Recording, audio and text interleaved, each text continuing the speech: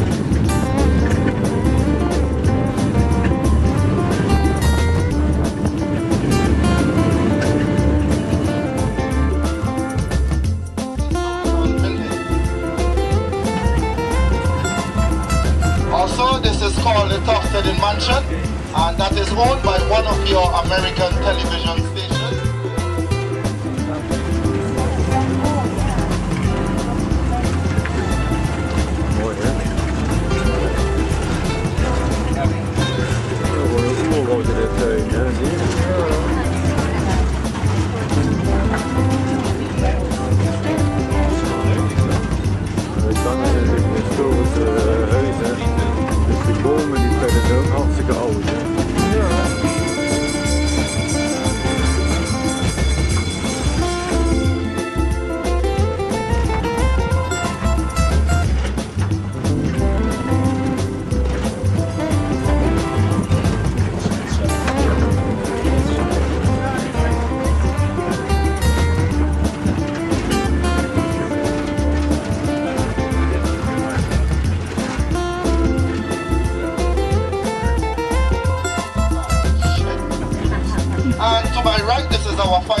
management unit, which is called the Treasury, and that is where all government revenues are paid and collected Monday to Friday.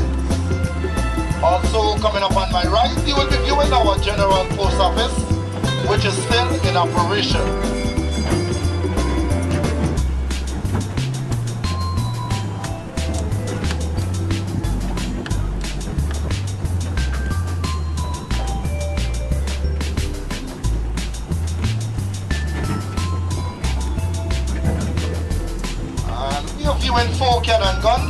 they were brought here.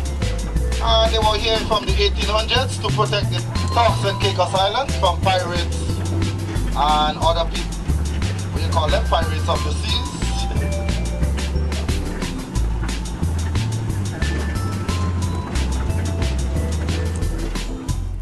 country's businesses or politics.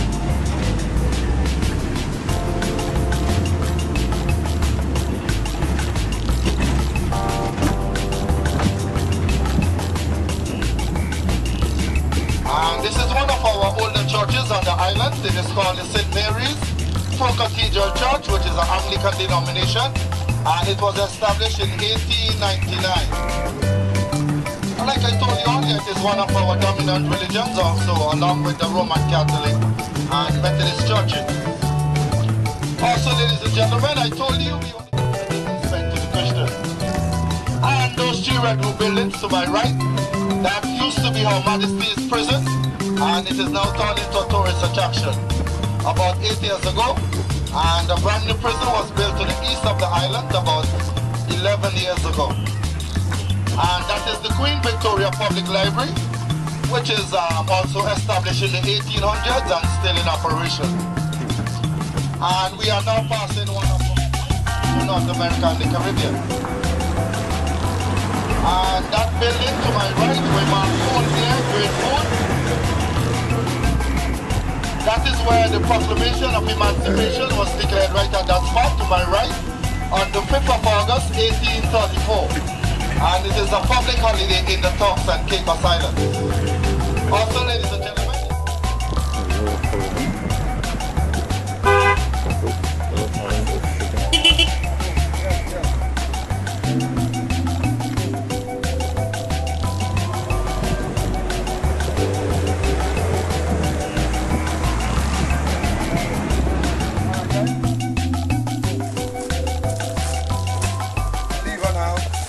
your step. Okay.